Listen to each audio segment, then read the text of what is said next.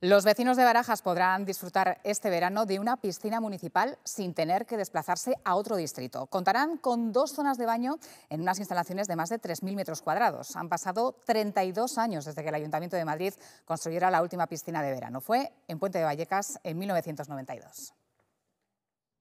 Los vecinos de Barajas llevaban tiempo pidiendo tener una piscina municipal al aire libre. Simplemente estaba la piscina del colegio y por la zona no había nada más. Aquí hace falta también ahora en verano con la temperatura, está bien refrescarse. Sus deseos se han cumplido. Ir con mi hijo, que tiene 20 años y vamos a ir juntos. Iremos también con, porque tengo dos niñas pequeñas, y iré también con las niñas pequeñas. Esta temporada ya estarán en funcionamiento. Esta instalación cuenta con una piscina para adultos de 25 por 25 metros y otra para los más pequeños, para que también puedan darse un chapuzón. Los trabajos han supuesto una inversión de 3,6 millones de euros. Cuenta también con vestuarios, zonas verdes para tomar el sol y duchas. Tendría que haber sido un espacio mucho más grande, más completo, con alguna otra deporte más. Hace 32 años que el Ayuntamiento de Madrid no construía una piscina municipal. La última fue en Palomeras, en Puente de Vallecas. Es necesario que se viva donde se viva, se tengan las mismas oportunidades de poder acceder a dotaciones culturales, deportivas y, y de todo tipo. Desde 2019 se han mejorado 12 piscinas municipales